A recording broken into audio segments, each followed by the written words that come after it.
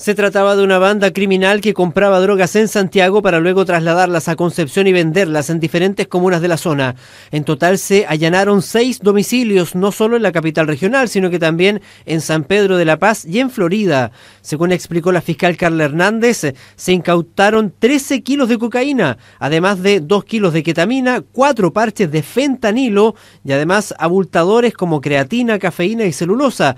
No solo eso, además se incautaron 4 autos, 3 millones de pesos en efectivo y más de 1.200 dólares. Más de 13 kilos de cocaína clorhidrato, más de 2 kilos en general de ketamina, eh, se incauta también eh, 4 parches de fentanilo, se incauta dinero, eh, toda la documentación que da cuenta del viaje de ida y regreso, boletas de peaje, compras en los servicentros, etcétera, además de los teléfonos celulares que utilizaba cada uno. Sin embargo, lo que más llamó la atención fue el hallazgo de un lápiz con la capacidad de disparar municiones calibre 22, la que fue periciada por personal de la PDI, donde se corroboró la gran capacidad de daño de un arma de la que aún no se conoce su procedencia sobre cómo pudo haber ingresado al país.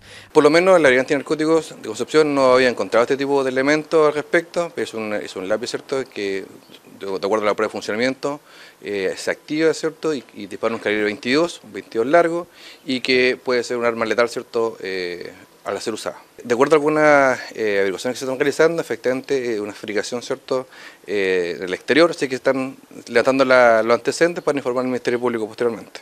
Desde el gobierno valoraron la investigación y el operativo que desarrolló tanto la Fiscalía como la PDI para dar con esta banda de traficantes. Este ya es el segundo procedimiento en muy poco tiempo donde efectivamente tenemos personas detenidas, tenemos droga incautada, tenemos armas incautadas y también eh, dinero. Eh, esto justamente es lo que hemos dicho que es el objetivo de eh, la persecución de las bandas criminales y acá se está logrando eh, con, con, muy, muy buenos resultados. Entre los detenidos se encuentra un ex futbolista profesional, quien fue parte de planteles como Guachipato y Unión Española. Hablamos de Guillermo Parra Valdés, quien junto a los otros cuatro hombres y una mujer quedaron a disposición de la justicia.